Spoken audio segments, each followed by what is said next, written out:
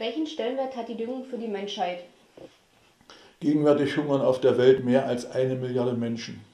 Das Ziel, die Zahl der Hungernden zu reduzieren, ist verfehlt.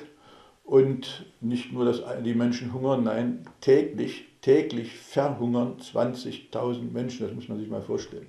Wenn wir die Mineraldünger nicht hätten, dann würden es weit mehr als doppelt so viel sein. Das heißt, ohne Mineraldüngung wäre äh, die Ernährung eines großen Teils der Menschen überhaupt nicht gesichert. Im ökologischen Landbau wird auf die Verwendung von Mineraldünger und von chemischen Pflanzenschutzmitteln verzichtet. Die Vertreter des ökologischen Landbaus nehmen für sich in Anspruch, ökologisch zu wirtschaften, aber das ist ein Irrtum. Gehen wir einmal von den unumstrittenen Fakten aus. Äh, bei Verzicht auf Mineraldünger und chemischen Pflanzenschutz werden nur rund 60 Prozent der Erträge erzielt, die im äh, äh, konventionellen Landbau erreicht werden. Bei Getreide nach der offiziellen Statistik 57 Prozent. Das heißt, für die gleiche Menge an Nahrungsmitteln brauche ich 50 Prozent mehr Fläche. Trotz optimistischer Zielstellungen und Prognosen beträgt der Anteil am ökologischen Landbau gegenwärtig nicht einmal 6 Prozent.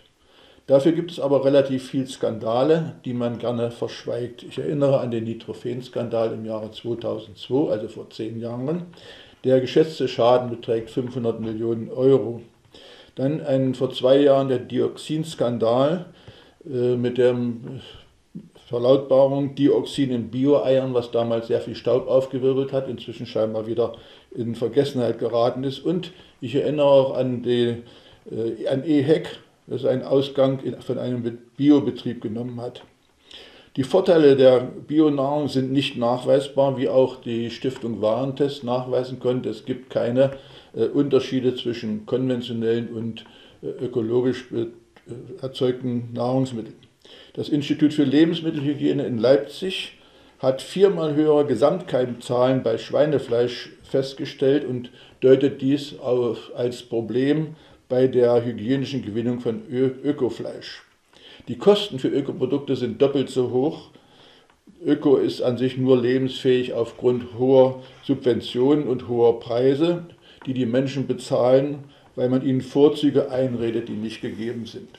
Es hat wenig Sinn, auf 5 bis 6 Prozent der landwirtschaftlichen Nutzfläche vermeintlich ökologisch zu wirtschaften, mit hohen Aufwendungen und hohen Subventionen, wobei Vorteile nicht gegeben sind. Ziel muss es sein, auf 100 Prozent der landwirtschaftlichen Nutzfläche ökologisch und ökonomisch zu wirtschaften, aber nicht ohne Mineraldüngung und nicht ohne chemischen Pflanzenschutz. Bei, äh, Im vergangenen Jahr hat die Bundesministerin Frau Eigner gesagt, wir brauchen eine Ertragssteigerung von 3,3 Prozent bei Getreide. Davon sind wir weit entfernt und wenn wir den ökologischen Landbau weiter ausdehnen, heißt das nichts anderes, als dass die Erträge zurückgehen.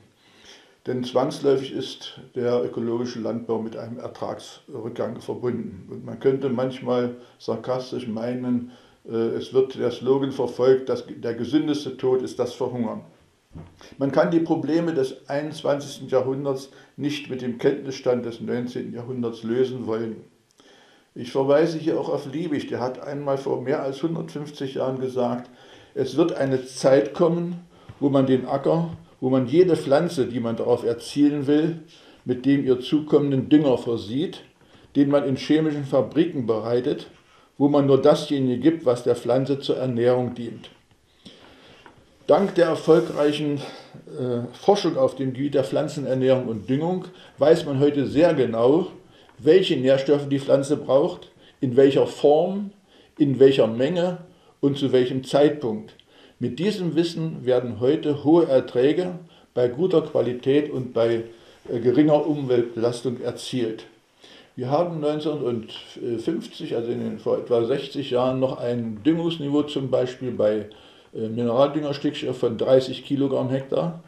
Wir haben inzwischen die Erträge mehr als verdoppelt bei vielen Fruchtarten und haben heute ein äh, Ertragsniveau, was äh, die Ernährung der Bevölkerung weitgehend sichern kann bei äh, vernünftiger Anwendung der, äh, des Kenntnisstandes. Und das ist der Weg, den der Verein zur Förderung einer umweltgerechten Düngung gemeinsam mit den Wissenschaftlern und Praktikern verfolgt.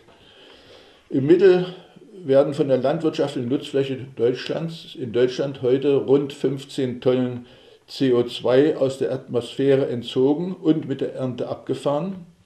Annähernd die gleiche Menge bleibt mit den anderen Wurzrückständen im und auf den Boden. Hier wird ein großer Vorteil für die Umwelt sichtbar.